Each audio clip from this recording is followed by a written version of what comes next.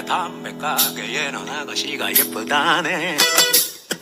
짧은 머리 곱게 빗은 것이 정말 예쁘다네. 온 동네 청년들이 너도 나도 기웃 기웃 기웃. 그러나 그 아가씨는 새침대기.